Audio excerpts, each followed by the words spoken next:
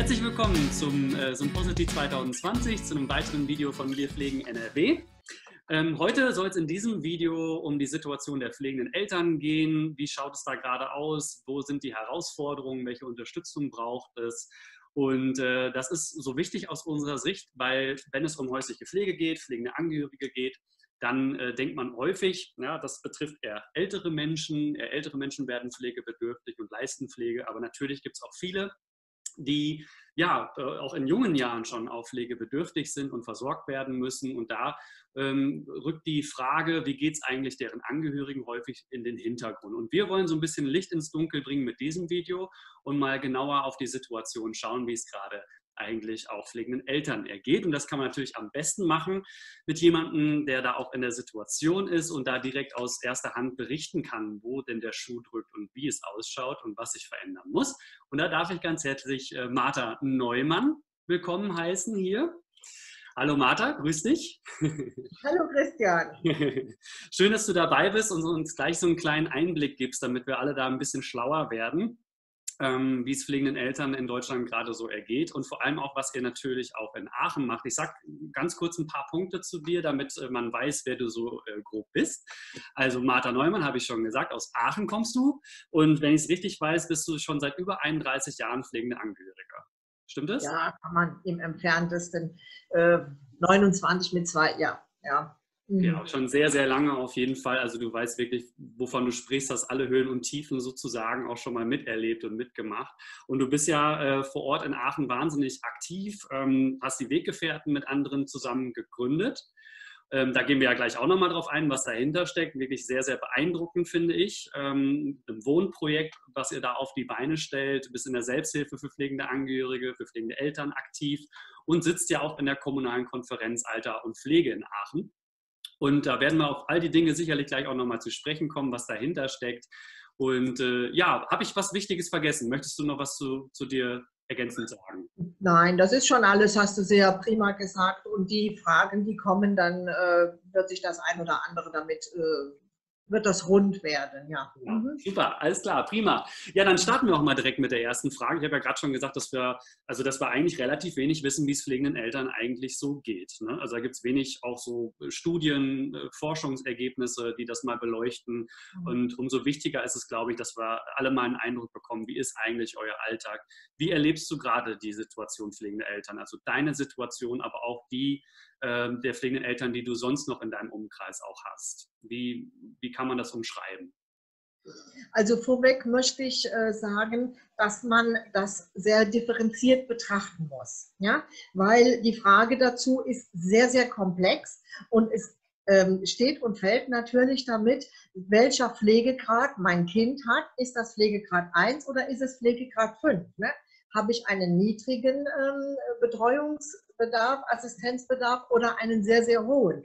Das erklärt sich von selbst, ne, dass man da eben ähm, sehr viel mehr eingespannt ist oder eben weniger. Ja? Das ist das eine. Und dann muss ich unbedingt sagen, ähm, ich kann jetzt, es ist so komplex, dass man sicherlich nicht alles beantworten, auf alles eingehen kann. Da gibt es ganz, ganz viel mehr darüber hinaus. Es gibt tausend Geschichten und Argumenten dazu. Ne? Mhm. Und ähm, ja, wie ist es? Also was äh, ich sagen kann, dass also, was sehr, sehr anstrengend ist, ist, dass wir zu wenig Unterstützung haben. Ne? Also hier in Deutschland grundsätzlich läuft das System an sich falsch. Ne? Es ist eine Riesenbelastung halt nebenher diesen ganzen Anforderungen von Krankenkassen, von Landschaftsverband, von Behörden und diese ganzen Sachen eben neben der Pflege, die sehr umfänglich ist, zu erledigen.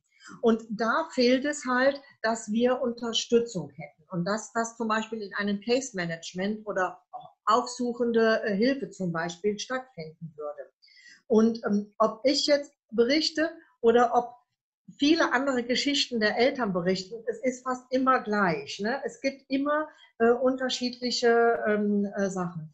Auch die Eltern von psychisch kranken Kindern, ne? da fehlt auch der Unterstützungsbedarf. Und das ist halt auf die Jahre gesehen zusätzlich sehr erschwerend. Und mein Eindruck ist, den ich auch mit dem Vater meiner Tochter abgleiche oder den anderen, dass es, wo es ins Erwachsenenalter ging, über die 18 hinaus, wir Betreuung haben, ähm, also die ähm, gesetzlich bestellte Betreuung haben und der fehlende Wohnraum da ist, dass das vorher im Kindergarten und Schulalter überhaupt noch kein Thema war und wir damit gar nichts ähm, anfangen konnten, sondern man dachte immer, ach ja, das geht alles seinen Weg, ja, und dann gehen die in den Heim, dann gehen die in den Wohnplatz und wohnen. Aber es ist halt völlig anders. Alle klagen, es gibt zu wenig Wohnplätze. Und dann hat man das Kind, die ja schon erwachsen ist und man ist älter. Und wenn es das soziale Versorgungsnetz ob jetzt äh, gute ähm, äh, Familie oder ein soziales Netzwerk, was man sich so aufgebaut hat, die werden auch älter, die sind dann auch 20, 30 Jahre älter, ja, dann sind die auch schon 80, dann können die auch nicht mehr einspringen wie zu Kleinkindzeit mit drei, vier Jahren oder zur Schulzeit. Ne, das bricht dann also auch weg. Und wir merken auch, dass wir halt schon in einem Mittelalter angekommen sind.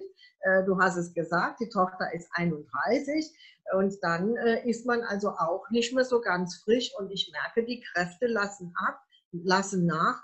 Und was halt erschwerend dazu kommt, so sehe ich es, dass diese vielfältigen Aufgaben, die ähm, für die Förderung und die Bewältigung, dass der äh, betroffene Mensch, die Tochter, der Sohn, ein gutes Leben hat oder eine Förderung, ähm, dass das vonstatten geht oder dass dieser Wohnraum geschaffen wird enorm viel nebenher erledigt werden muss. Und das geht erfahrungsgemäß hier in Deutschland fast nie glatt, sondern wenn man etwas braucht, es hat eine enorme Anstrengung, einen enormen Zeitaufwand, äh, Widersprüche schreiben, teilweise auch mit Sozialklagen, mit Krankenkassen, mit Landschaftsverband. Das ist so viel, dann diese permanenten Änderungen viele, viele, allein nur mal das Thema Windeln zu nehmen, wie viele Gespräche wir für diese Windelversorgung aufwenden müssen. Und das ist eben sehr mürbemachend, sehr mürbemachend, kostet enorm viel Energie, enorm viel Kraft und ähm, dafür äh, kann ich nur wiederholen. Ne? Das System läuft einfach falsch. Wir brauchten da wie diese ähm, Hilfen bei kleinen Kindern, zum Beispiel wenn ein behindertes Kind da ist, frühe Hilfen, dass dann sofort ein System Unterstützung einspringt. Das darf nicht in jungen Jahren enden, das müsste fortgesetzt werden. Ja, dass da eine staatliche Anbindung und Einbettung da ist. Und das andere ist halt eben, bei uns ist es so, dass wir halt sehr andere Biografie gegenüber älteren Leuten haben. Wir gehen, wir sind junge Eltern. Unsere Kinder sind neugeboren zwei, drei Jahre. Wir gehen mit unseren Kindern über Schulzeit in das Leben hinein, über Jahrzehnte. Und das ist eben etwas, was eben, ähm, ja, was der Mensch nicht auf dauerhaft, auf so viele Jahrzehnte leisten oder aushalten kann. Und das ähm, ist ein sehr frustrierender und ich finde auch ähm, eigentlich ein sehr trauriger Aspekt dass wir, wie es so oft heißt, in diesem reichen Deutschland so alleine gelassen sind. Es hm. gibt, und das möchte ich auch nochmal betonen, sehr, sehr viele gute, sehr gute Sachen, die für die Behinderten auf den Weg gebracht sind.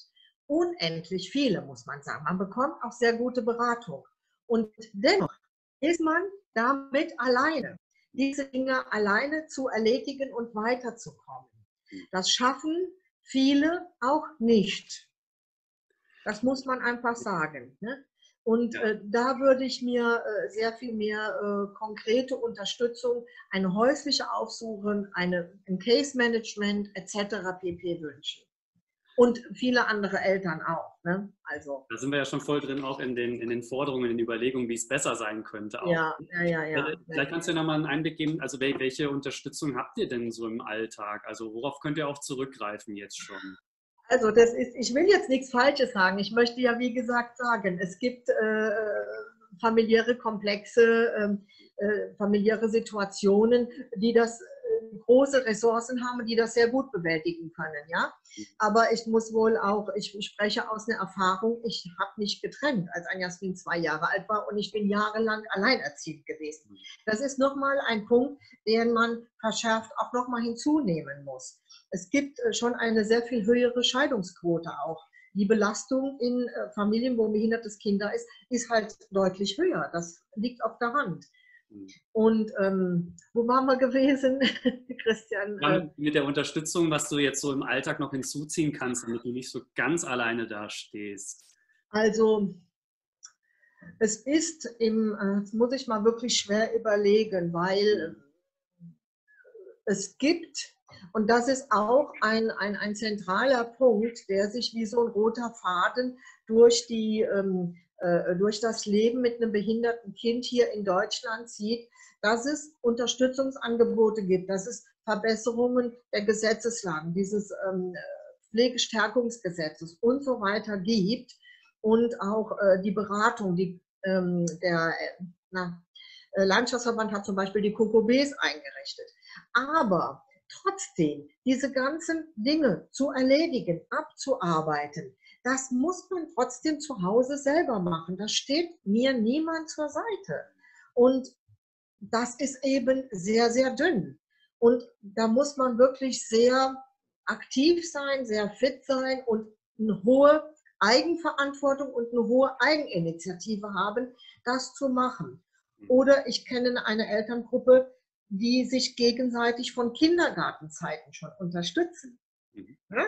Die also gewachsen sind über die Schulzeit und die dann tatsächlich in einem Nachbarort in Jülich eine Elterninitiative äh, geschaffen haben, nur von Eltern. Ja, aber das ist eine große Ausnahme. Und sonst ähm, kann ich, es ist ein vernichtend, aber ich kann für mich sagen, ähm, ich habe da oder wir erleben da nicht viel Unterstützung. Ja. Und das zieht sich durch fast alle Bereiche durch. Das also, ähm, wir kommen gleich noch dazu, zu der Konferenz Alter und Pflege, auch jetzt zum Beispiel in den Werkstätten. Es gibt so ungeschriebene Gesetze, wo halt viel getan wird für die Behinderten, aber wir Eltern, wir sind so unsichtbar. Wir kommen gar nicht vor.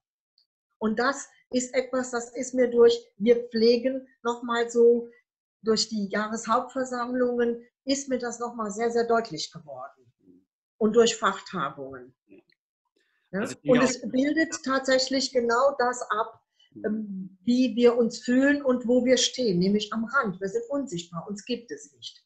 Und da möchte ich wirklich hin, dass wir ähm, Basisarbeit machen, aufklären, aufklären über alle möglichen Wege und Schritte, ähm, dass wir da ein Gehör äh, bekommen und wir uns nochmal deutlich von der Altersgruppe der Älteren, die ihre Berechtigung haben, alles wunderbar, aber wir, dass wir einen Platz haben und einen Namen auch für uns. Genau, das war ja auch so, dass das äh, so, so, unser Anliegen mit dem Video heute, dass ihr genau diese Plattform auch wirklich braucht, um das mal mehr, dass ihr mehr in das Blickfeld auch kommt, der Öffentlichkeit, der Politik. Ich glaube auch, das ist dringend notwendig. Ne? Absolut. Und Absolut. ihr, also bist das Beeindruckende ist ja bei dir und bei euch vor Ort. Ähm, du hast jetzt viel berichtet, wie, wie stark du im Alltag eingebunden bist. Man merkt ja schon, okay, du hast ganz, ganz wenig Zeit.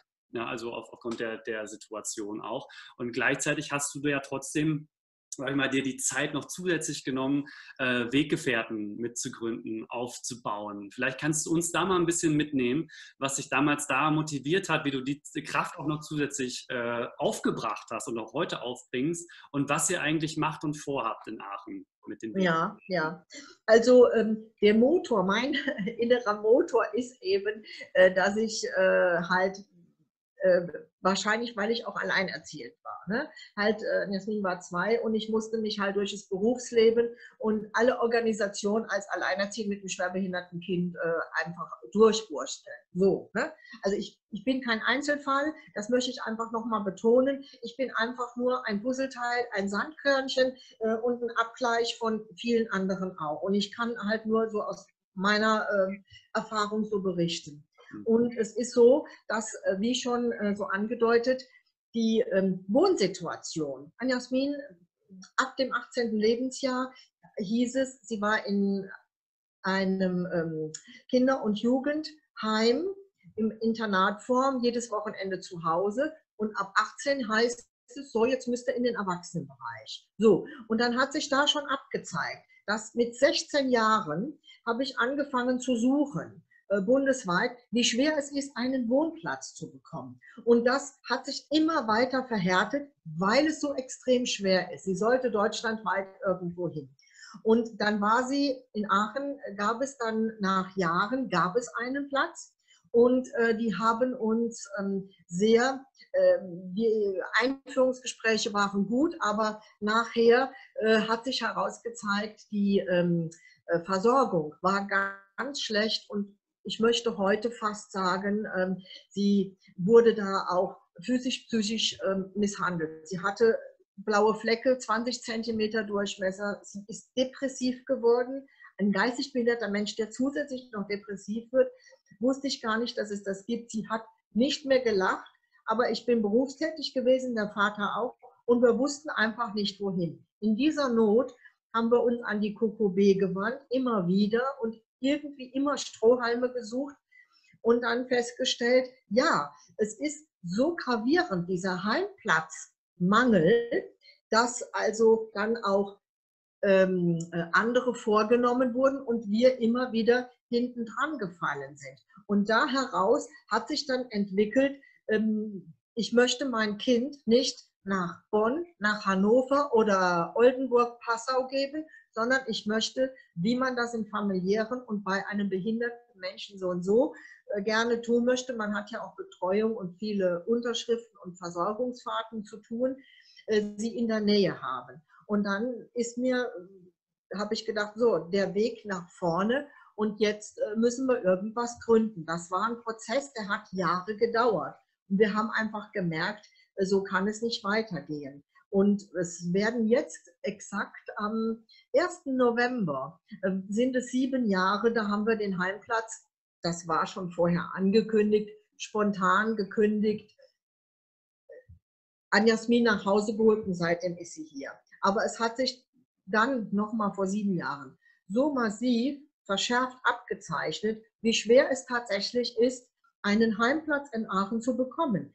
Den gab es zwischen fünf oder zwölf alten Menschen.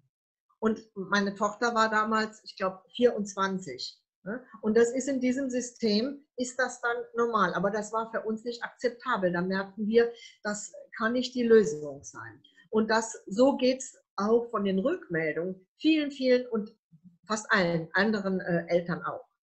Und so kam es, dass ich dann überlegt hatte, da gab es eine Gruppe, das hat leider nicht so gut geklappt. Da haben wir uns verstritten und dann habe ich 2016 halt mit heißer Nadel, äh, ich wusste ja schon, wie es geht, habe ich die Weggefährten gegründet. Mit großer Angst, mit großen Bauchschmerzen. Wir sind von der Städteregion Aachen, das heißt Kreis. Wir wollten, dass Anjasmin in Aachen bleibt und dass diese Gruppe dann in Aachen auch etabliert ist. Äh, wir sind, ähm, kann jeder auch äh, weit von außen her dazukommen, aber so kam es dann eben. Und ähm, dann hatte ich einen, ähm, damals schon äh, einen äh, Draht zu der evangelischen Stiftung Heffertag, Mönchengladbach. Da war ich durch das Studium in einem Symposium und hatte mitbekommen, dass Heffertag äh, Spitzenreiter ist, um ähm, Wohngruppen herzustellen. Und die haben da die Beratung, die Begleitung der Eltern gemacht und so war das dann auch bei uns. Also das war schon eine große Hilfe, muss man sagen. Das Haus steht. Wir haben am Samstag Bilder gemacht. Äh, die werden auch auf die neue Seite, äh, nicht auf die neue, auf die Seite gestellt.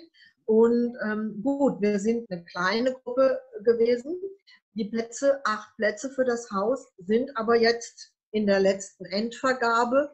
Und ja, es sind alles junge Leute, mhm. die da sind. Und ähm, es ist kein Spaziergang gewesen, das muss ich sagen. Und es wäre auch schön, wenn das äh, anderen Eltern erspart bliebe, wenn also sehr viel mehr Wohnraum zur Verfügung gestellt werden könnte.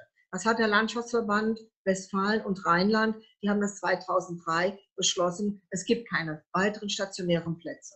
Es werden aber auch von da aus keine weiteren geschaffen.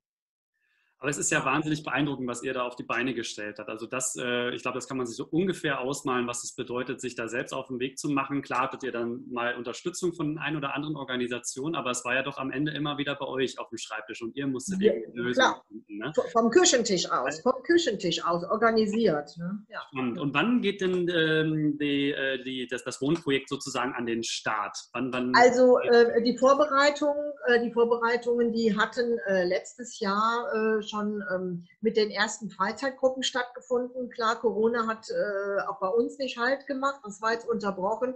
Und jetzt am Samstag hatte das zweite Mal wieder die ähm, äh, Freizeitgruppe stattgefunden und Einzug haben wir als Termin den 1. März. So, äh, der Rohbau, der steht.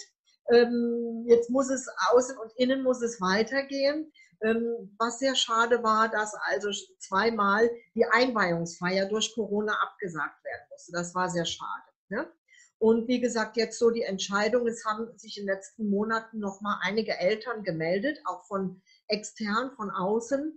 Und ähm, das ist an sich ein ganz gutes Zeichen und es bildet im Grunde genommen das ab, wie, wie ja, die Eltern, wie verzweifelt die sind, weil es diese fehlenden Wohnplätze eben gibt. Das heißt, ja? die Anfragen sind schon sehr, sehr äh, groß. Man kennt uns ja jetzt zwar nur ein bisschen, ne? also wir sind ja keine große Organisation, aber man merkt schon auch immer diese, diesen Druck dahinter, ne? wenn Eltern, wir brauchen ganz dringend. Ne? So, jetzt sind aber acht Plätze bei uns voll. Gut, das muss ich jetzt einfach mal weiterentwickeln. Das hm, ist jetzt, jeder Schritt ist neu. Und es ist aber auch so, dass, wenn ich das jetzt schon mal so sehe, ähm, rückblickend oder auch vorwärts gerichtet, dass äh, zum Beispiel, ja, kann man so sagen, ich bin diejenige, die einen neuen Anbieter nach Aachen und in die Umgebung hergeholt hat, und zwar die Evangelische Stiftung Herfata. Mhm. Das ist für die Monopole, die in Aachen alle sind, Lebenshilfe, Caritas, Alexianer, Vinzenzheim, VKM und so weiter, ist das alles erstmal, hm, ja, so mit einem Durchatmen. Ne? Aber das soll die Konkurrenz und auch die Wohnlandschaft beleben mit neuen, mit äh, individuellen, ähm, neuen Wohnideen. Äh, ja? Raus aus diesen alten Verkrustungen, heim, weg, sondern hin zu unsere jungen Behinderten, psychisch Kranken, alten Kranken in die Mitte der Gesellschaft und drumherum was Gesundes aufbauen. Die müssen in die Mitte. Da ist noch ein weiter Weg, aber daher möchte ich diesbezüglich, das ist meine Triebfeder und mein Motor, den du vorhin so angesprochen hast. Ähm, ja, es kostet äh, zwar Energie und Kraft, aber jetzt merke ich, diese Öffentlichkeit, diesen Druck, das ist für mich sogar ein Entlastungsventil, weil es so über dieser Überschrift stehen könnte, Eltern brauchen eine Stimme, Eltern von Behinderten oder psychisch Kranken brauchen eine Stimme und auch das Schweigen zu, zu brechen.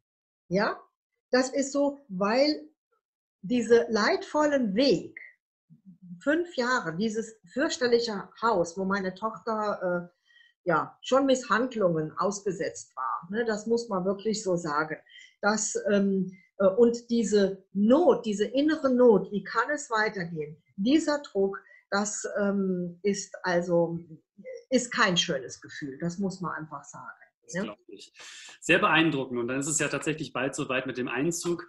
Jetzt ja. ist es ja genau das Wohnprojekt. Äh, du bist ja aber auch in der Selbsthilfe ja auch ähm, aktiv und in der kommunalen Konferenz Alter und Pflege. Vielleicht magst du uns da auch nochmal zu sagen, was du in diesen beiden Bereichen ähm, alles so auf die Beine gestellt hast. ja, ja. Also es ist so, ähm, dass ich, also diese Selbsthilfe, wir sind die Selbsthilfegruppe Weggefährten Aachen. So. Und das Wohnprojekt, das war so das allererste. Wir sind aber immer äh, eine Selbsthilfe gewesen, die sich mit dem Untertitel nennt Weggefährten Aachen äh, Eltern und Angehörige von behinderten Kindern. So.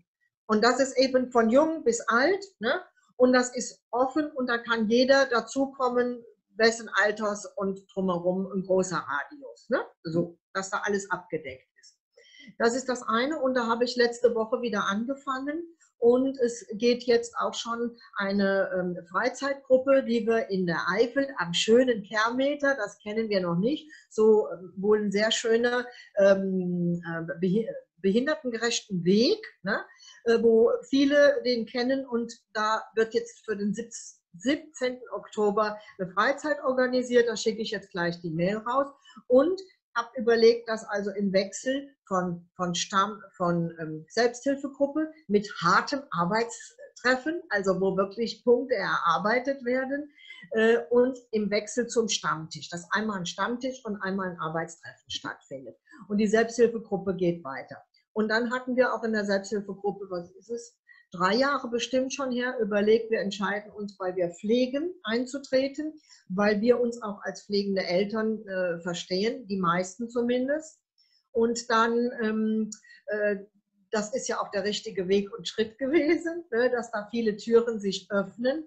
Und dadurch kam es halt auch, dass also du und Susanne da ganz schnell in Aachen angedockt habt und es relativ unkompliziert wir im Platz in der ähm, Konferenz für Alter und Pflege bekommen haben. Ja? Also äh, das Mitbestimmungsrecht soll dadurch gefördert werden und auch nochmal stärker abgebildet werden. Und ähm, ich bin jetzt, äh, seit letztem Jahr haben wir diesen festen Platz und ich glaube, es ist jetzt das vierte Mal, dass ich jetzt äh, letztens da gewesen bin. Möchte aber sagen, dass ähm, es nicht anders zu erwarten war. Wir Eltern sind da genauso unsichtbar wie sonst überall auch. Die Themen, die abgehalten werden, sind Alter und Pflege. Ist ein breites Spektrum, immer wieder neu, immer wieder innovativ. Die Felder, die sind überall. Die sind Wohnen, die sind, ähm, äh, wie gestalt, kann ich mein Leben gestalten, wie, wie kann ich arbeiten gehen, äh, wie ist das Mitspracherecht in der Werkstatt, in der Schule, das sind überall Themen, wo wir als Eltern einfach als Essenz zu wenig mitgenommen werden. Da finde ich so richtig klasse, dass ihr da in Aachen mit dabei seid bei der Konferenz, weil da geht ja schon auch so um Planung, Steuerung, auch der pflegerischen Versorgung vor Ort. Und das ist ja auf jeden Fall eine, eine große Hilfestellung, finde ich, gerade wenn man merkt, hey, wir kommen eigentlich gar nicht vor in diesen Diskussionen, in den Überlegungen, dann nochmal zu sagen, äh, Entschuldigung, pflegende Eltern sollte man unbedingt mal mitbedenken da kann man ja nochmal den Finger in die Wunde legen dann in diesen äh, Konferenzen auch. Und wir haben das ja auch in anderen kommunalen Konferenzen, wo man merkt, wenn pflegende Angehörige dabei sind, dann wird auch mal wenigstens auch über häusliche Pflege, über pflegende Angehörige auch gesprochen. Verstärkt. Mhm, mhm. Also mein Eindruck ähm, oder meine Aufgabe, das gehört zu den ähm, äh, Hausaufgaben, die dann in nächster Zeit äh, erledigt werden, dass also wir da äh, eine Präsentation oder PowerPoint oder wie auch immer eben nochmal zusammenstellen und uns dann auch nochmal äh, darüber vorstellen. Aber äh, wie du auch ganz anfangs schon gesagt hattest, ähm, was fehlt, das sind immer diese konkreten Zahlen. Ne? Ne, dass man nochmal wirklich auch Zahlen und, eine Grafik hat, damit man eine Vorstellung davon hat. Wir sind keine so kleine Gruppe gegenüber den Älteren. Ne? Ja. Ne, die Werkstätten, die Schulen, die Kindergärten, die ganzen Wohnformen, das, sind, das ist, ist eine riesengroße Landschaft. Ne? Die Werkstätten sind Wirtschaftsbetriebe. Genau, absolut. Ja, definitiv. Und da wollen wir ja alle zusammen dran arbeiten, dass das ein bisschen klarer verständlich, selbstverständlicher wird, oder ähm, auch da alle wirklich mitzudenken, die äh, in dem Bereich auch anfallen, in der, im Bereich Pflege, Behinderung und so weiter, dass man da niemanden übersieht. Ne? Genau. Mhm. Wenn wir jetzt nochmal auf, auf die letzte äh, Frage vielleicht nochmal blicken, du hast jetzt eben schon viel auch genannt ähm, und, und viel beschrieben, was sich auch verändern muss. Ich glaube, wir haben einen ganz guten Einblick bekommen, auch über die Problemlage. Klar, jede Familie ähm, ist da auch nochmal anders aufgestellt, hast du auch schon berichtet. Und da sind die Probleme natürlich auch sehr, sehr mhm. unterschiedlich, auch in dem, in dem Handling, sage ich mal, dessen, wie man damit umgeht im Alltag. Ja, ja, ähm, wenn du jetzt aber nochmal überlegen würdest, also wo, wo, ist aus deiner Sicht ein ganz, ganz wichtiger Punkt, der sich dringend verändern muss? Äh, was würdest du dir so für die Zukunft, für dich, aber auch, sag mal, auf, auf pflegende Eltern insgesamt gesehen wünschen an Unterstützung, an Veränderungen? Also das ist, die Überschrift ist als allererste Aufgabe, ist die Überschrift, wie ich schon mehrfach genannt habe, dass wir äh, aufklären müssen und dass man ähm, über uns erfährt und dass wir auch noch mehr Eltern, die tatsächlich gewillt sind, daran ähm, mitzuwirken, einen Namen bekommen und dass man von uns weiß. Das ist das allererste, das Wichtigste erstmal. Und da darunter, darunter gibt es ganz, ganz viele Themen, die ich schon äh, genannt hatte. Und halt dieses Überthema, äh, was halt äh, ähm, erneut äh, Entlastung bringen würde, das wäre tatsächlich, dass man also diese aufsuchenden Hilfen oder dieses Case Management, ne, das wird es in den einzelnen oder anderen Fällen äh, vielleicht sogar geben, dass da irgendjemand was macht oder hilft. Aber letztendlich, und dass es halt sehr viel mehr Wohnraum gibt, dass ähm, die Inklusion, die schon da ist als Begriff, dass die Inklusion für alle ist und nicht nur für die Fitten. Da gibt es also auch Unterschiede. Also da müsste man noch mal sehr differenziert ins Detail gehen. Ne? Das auf jeden Fall. Und das ähm, Deutlich ist auf jeden also, Fall geworden, schon in deinen Kommentaren auch vorhin, äh, also dass der, der Bürokratieaufwand, glaube ich, auch einfach ein sehr, sehr hoher ist. ist unglaublich. Das ist wirklich äh, unglaublich und das also auch, äh, das erlebe ich also auch, das möchte ich gerade noch mal sagen, vielleicht kann man es doch irgendwo anders davor sonst einpflegen, ähm, was uns an Problemen entgegenkommt. Das ist, dass wenn man auch die Gesetzeslage dafür geschaffen ist, für persönliches Budget, das neue BTHG, die, das Pflegestärkungsgesetz etc. pp. Dass man also sehr oft ein gutes Wissen braucht, ein Know-how, eine, eine Beharrlichkeit oder für gewisse Sachen tatsächlich immer schon ein Anwalt mit in petto haben muss, weil man weiß, das kriegt man nur mit einem Anwalt durch. Und das ist eher, das ist ganz, ganz traurig und das ist bitter, dass man diese Anstrengungen diesbezüglich unternehmen muss. Und äh, viele, viele Eltern weiß ich auch, dass die auf diesem Weg dahin scheitern und dass die einfach nicht mehr können.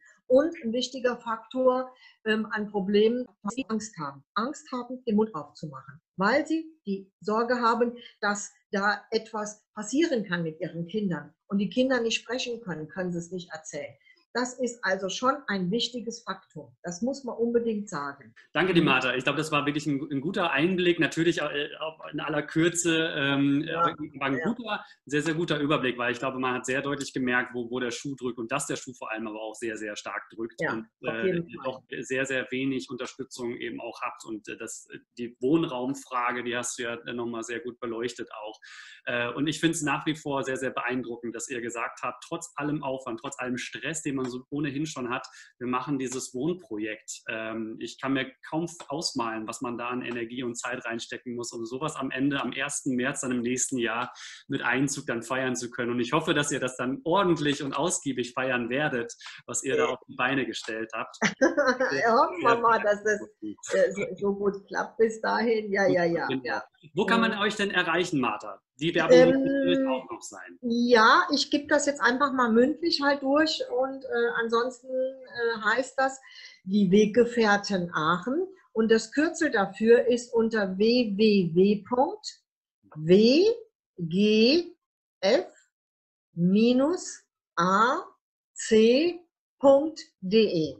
Also Weggefährten abgekürzt, WGF, weil es zu kompliziert geschrieben ist. Und da ist die Seite mit äh, mit, mit Bildern, mit Untertiteln und so weiter. Da kann man uns sehen. Es kann jeder gerne dazukommen und natürlich noch sehr viel mehr. Letztens kam eine Mutter über euch, die hat uns gefunden, über die Wir pflegen Seite.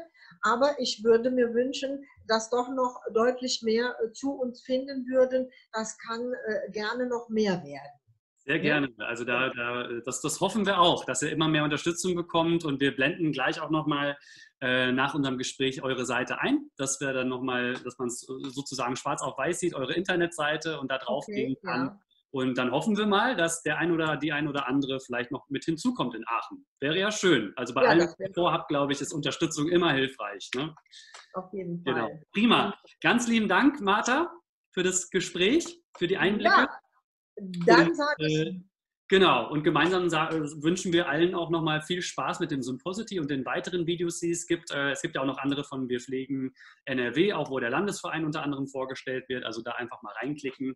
Und äh, ja, in diesem Sinne wünschen wir allen alles Gute und sagen bis bald. Vielen, vielen Dank und ganz, ganz lieben Dank an dich für diesen Impuls und dass du den Aufwand betrieben hast und danke, dass du an uns gedacht hast, uns mit einnimmst. Aber es ist ja im Sinne für, für unsere Gesellschaft, für uns alle. Ne? So sieht's Danke aus. Danke, ne? Danke, Danke, Danke Martha. Alles klar. Tschüss.